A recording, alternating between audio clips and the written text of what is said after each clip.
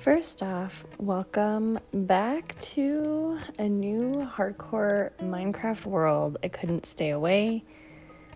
And we spawn by this huge mountain. I couldn't remember this, but day zero, here we go. Second season of Hardcore Minecraft. You see me starting the way everybody does, but there I make six crafting tables, which you know, I'm just a pro. I mean, I end up using them all and spreading them out, so it ends up working. And you see this catastrophe that I had with this poor cow that really suffered. But we jump right in.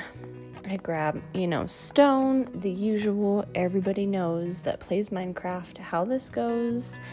And we just get into it. But what ends up happening is there is a flower forest kind of right there to the side that you see. I do a bit of exploring, um, trying to figure out where it is that I want to go. You know, in, in the beginning of this one, I was really upset and disappointed to lose my first hardcore world. So I just really didn't know what to expect going into this one. Um, obviously, wanting to be cautious, but I was debating because I said this before, but my ultimate dream goal is to find a mushroom island and build on that, like a huge mega build for my first ever mega build. But we'll see how it goes. Um, I was just trying to let the area kind of decide for me, made my bed. First thing, you know, I'm always going to do magenta. I gotta always go magenta. That's just always gonna happen. And then I use my other magenta to dye this cute little sheep over here. Um, and I still see him from time to time. I really do need to spend the extra time to bring him over to the base because he's the first one I died. And he could be like my one lone magenta until we can find a, hopefully a naturally spawned pink sheep, which is still a goal, which is still the name, the pink sheep AK. But yeah, grabbing some coal, more stone, I guess cobblestone, um, and trying to figure out what to do and where exactly I want to go. A flower forest, which besides a dark oak forest because of the mushrooms, this would be my ideal place to be, so I was really pumped on this but I just scope it out. I saw some, a cute little bee. That's where I had spawned down over there. And I was kind of and have kind of been blown away by the natural generation, even though this is only 1.17. Um, I've been kind of surprised at the generation in this world, as you'll see through the episodes. Currently, I'm filming episode three. So, this is episode one. I got an edit episode two, not to get too far ahead, so I'm not spoiling that I'm still alive. Um, but in episode three, I'm honestly just shocked by the generation of the land. Um, I don't ever remember any of this existing before 1.17, at least this severe, this dramatic. Um, and it's just really cool. I mean, I would love to do some kind of expanded bases in all of these cutouts and hopefully, I'm not trying to get too ahead of myself. I'm able to spend some more time building in this one and a creeper doesn't blow me up. I mean, I don't want to die at all, but you know, we can dream. And then I heard little axos chirping. And honestly, this is the perfect place for them and glow squid to spawn. I'm swimming around grabbing the um, poor lost glow squids, but eventually I will come back there, hopefully grab some axolotls I haven't gotten that achievement yet. But then I was shocked that there's a village right here, right, my spawn village. Um, and you know, there's literally no chest in the whole place, which I was a little disappointed about. And I was honestly going to keep moving. And then I knew I feel like the best and easiest way for me to be successful in this hardcore run is to use these villagers to my advantage. Um, so you see, obviously, there's nothing in any of them, but it seemed like there was a lot of guys in the area just kind of scoping everything out. But I make the decision okay, th- this is going to be my village. I already have a lot of these guys established. Let's let's fence it in. I- I'm going to try to keep this these people alive. Try to get, you know, my trades, get my villagers, my librarians, I guess is what I'm trying to say. Um, so yeah, I just spend this time deciding that I'm gonna make this village be mine, basically. Um, and fence the entire thing in. So that's what I'm working on here. Takes me a long time. A lot of trees are chopped down for this. Um, and for now, the fence is going to stay for a while. Eventually, down the road, I would love to go more like inspired by Gemini Tay route. Um, and I think it was in one of her hardcores, or maybe it was a survival where she I want to let them roam free. I'm not going to lock them up. I want them to exist within the village as if they were real people, I guess. Um, so eventually down the line, I want to actually build probably a castle. I'm up in the air about the castle, but definitely transform their homes, transform the area, actually build a nice, safe wall that, I mean, the fence is fine, but just develop this place as I go along, that would be such an epic thing to do. But I spent all this time trying to get everything secured. I kept having these two guys, like this guy right here, that just would not go in for a while. Um, and then I ended up having to let someone else back into the village later. But yeah, just grinding to make fences. I didn't think it was that complicated, but you know, it's just time consuming. It's not complicated. It just takes some time. But yeah, this guy would like not go inside. but I eventually got him in there. Um, and then just trying to really sloppily, honestly, terraform just enough to encase everyone inside and make sure that they're safe. Um, yeah, because I've got big plans for these guys, as you'll see. Real, real, real big plans.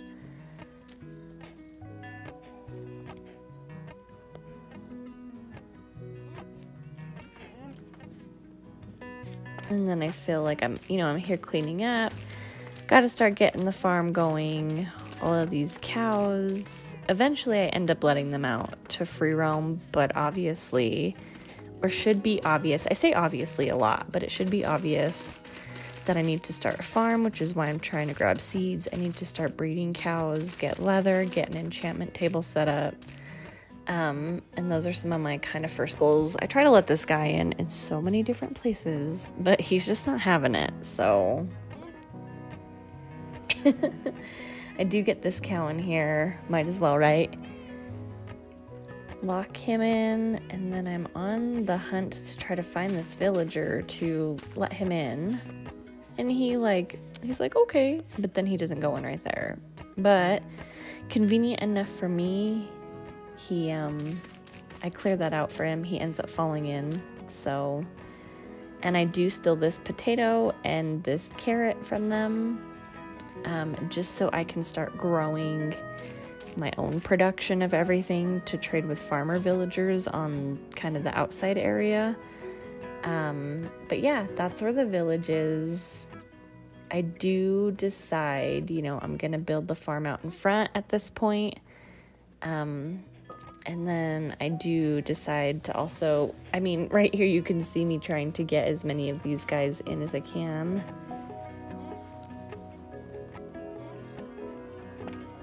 And of course, I decide, like, absolutely we need pigs. So I try to gather all of them in as well. And then I go back for some chickadees.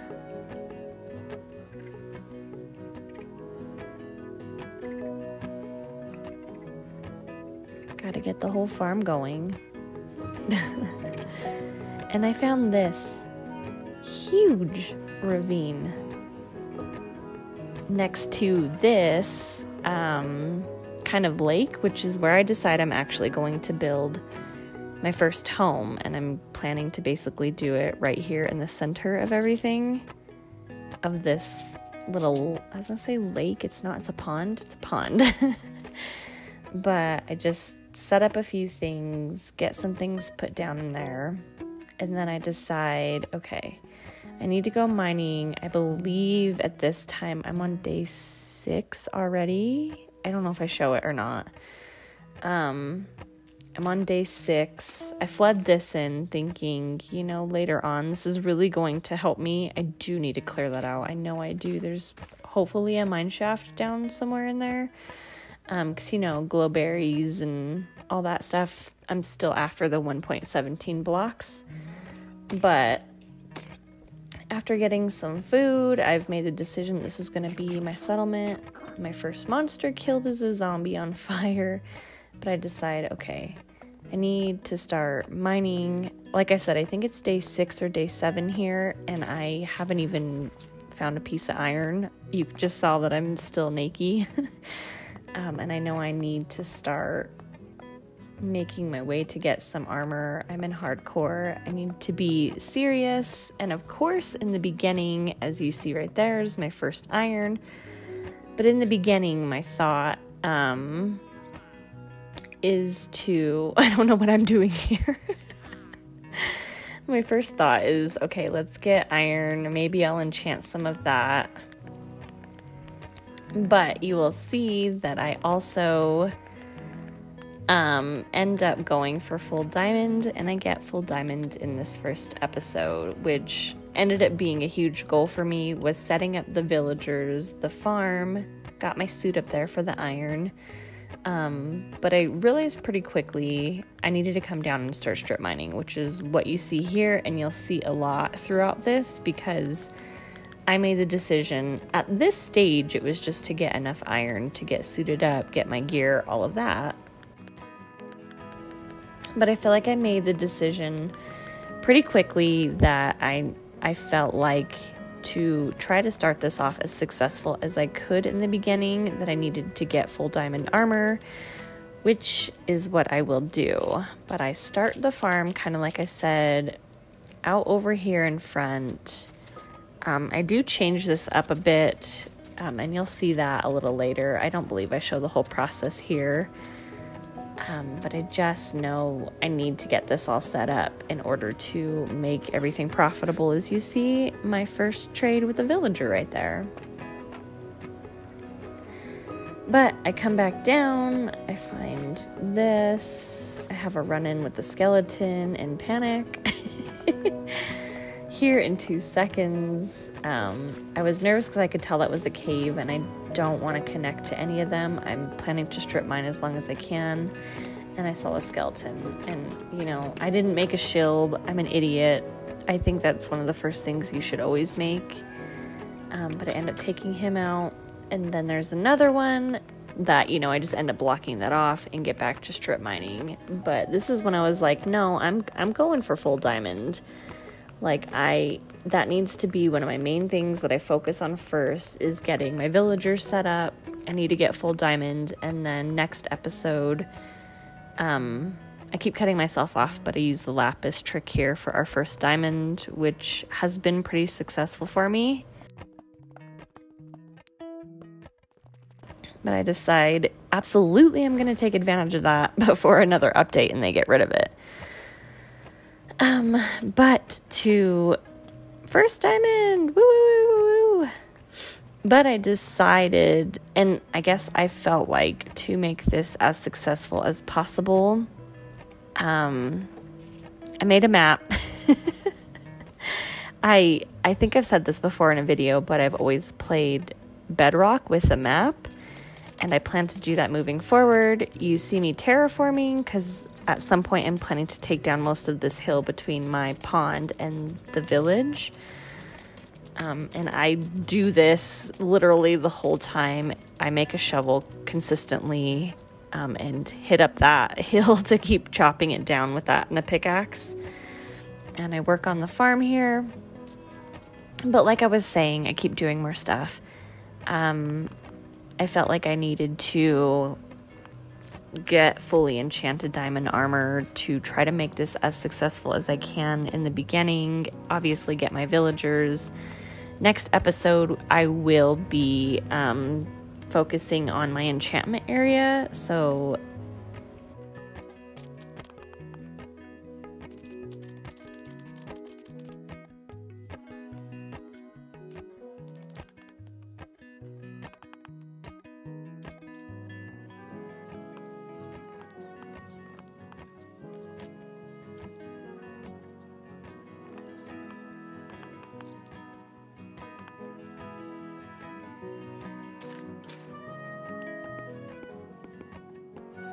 I really am pleased with what I've done with this area.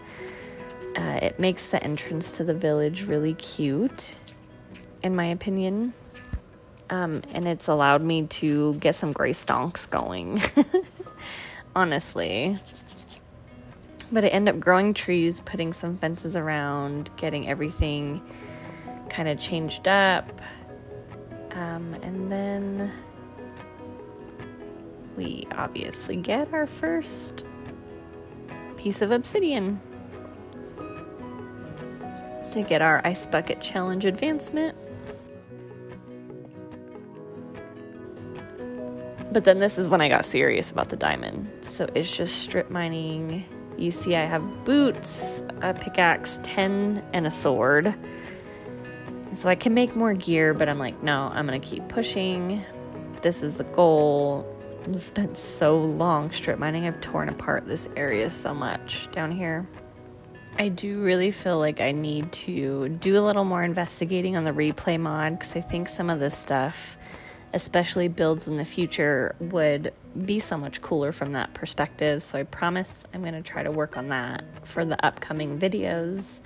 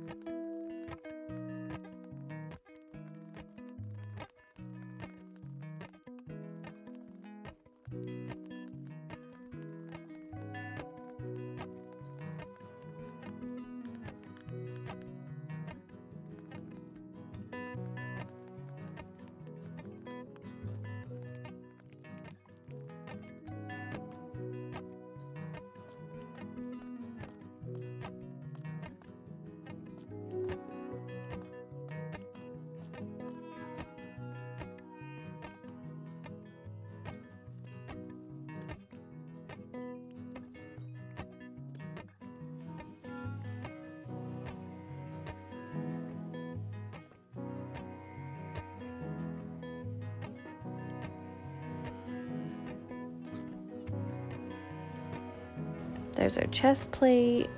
Got our helmet. Trying to work on, you know, smelting down all the iron and the copper. But then we're back on the hunt for the rest of the diamond. I want to know I want to make an enchantment table and some pants.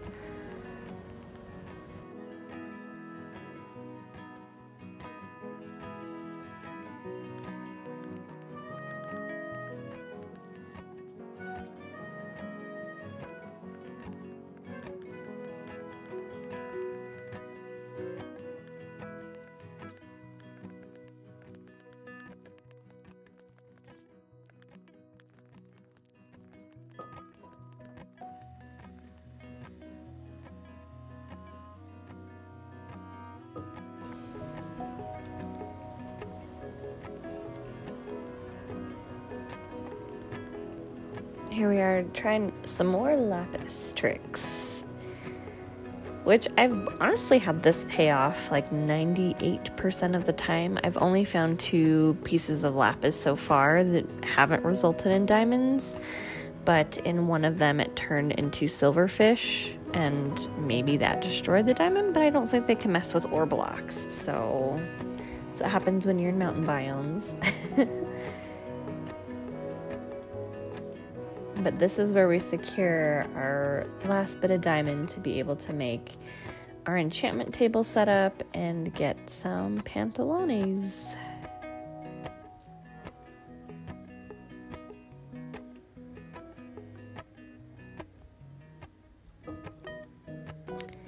Here's our pants.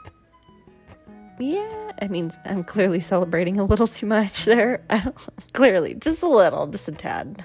Just a little too much celebration.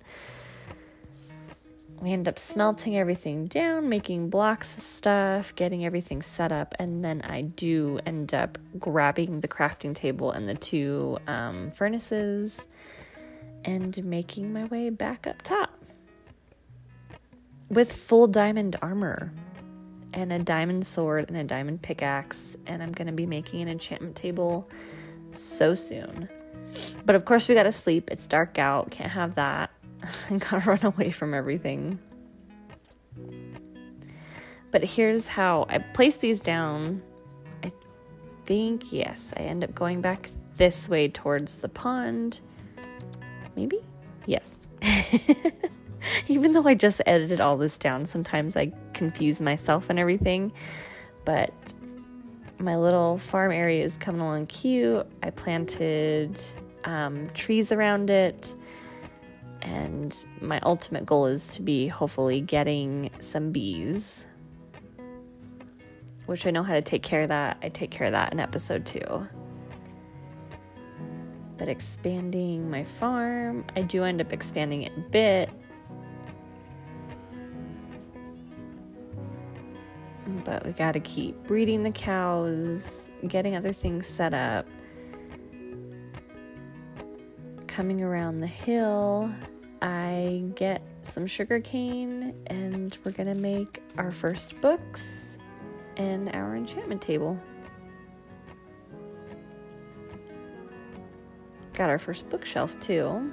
And then here comes our enchantment table. Yeah,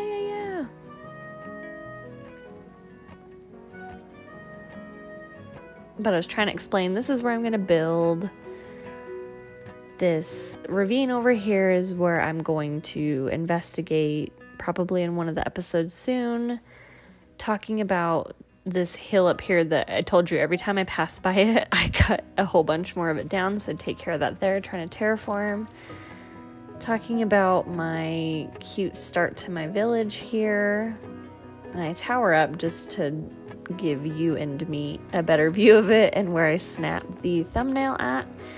But this is our progress so far in the first episode full diamond armor, getting our village set up, and our enchantment table at least. But thank you guys for watching our first hardcore episode back, and I will see you guys in the next one.